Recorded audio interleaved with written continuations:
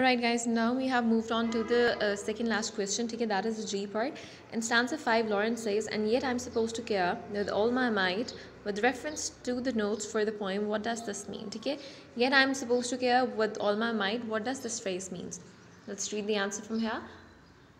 Lawrence was supposed to care for those careless, careless students with all his might because at that time he was a teacher, but he felt his time at school was futile.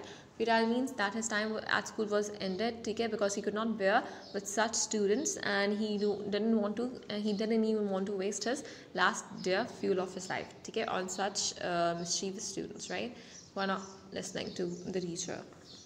Alright, so now let's move on to the H part. That is last question. What is the poet's final decision, decision or resolve?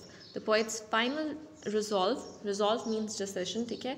His, fi his final resolve is to figure it out, wait for the bill, and not drain his strength, but keep it to live his own life. Okay, so now he has decided to quit on his teaching career, okay, and became a full-time author, and he's not going to, and he's just going to sit there and wait for the bill and not going to waste his energy on such students take care and um, and he's going to save uh, a little bit of strength and energy that is left to him uh, for his own life okay and he has given up trying. He has given up given up trying on such students okay now you guys are going to write these answers in your neat copies with the questions. Take care, write the question with the blue marker and the answers with the blue pen, right? And draw the margin lines properly as well.